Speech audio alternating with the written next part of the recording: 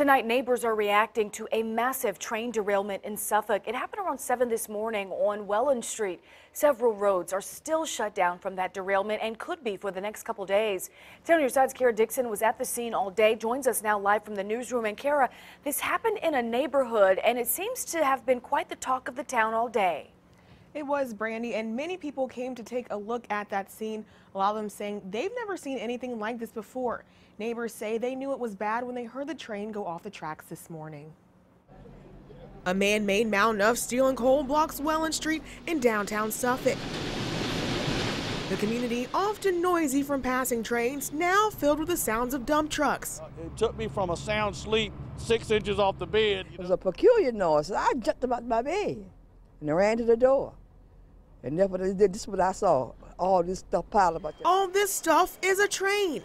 Officials say 44 cars to be exact, all carrying coal piled on top of each other after derailing around 7 this morning. It was this crashing, loud banging that went on and on and on. Robert Bass lives right down the street from where it all happened. But I've never, ever seen anything like this. When I walked down there, it was train cars packed up 30 feet high where they were just just smashed and mangled all the pieces.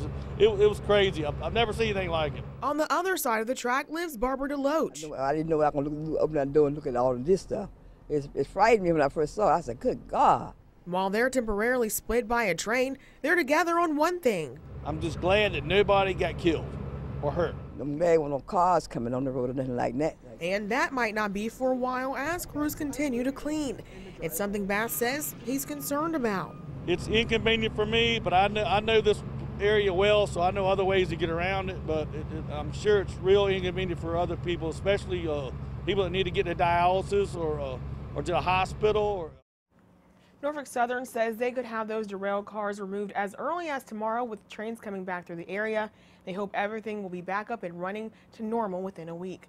In the newsroom, Kara Dixon, 10 on your side.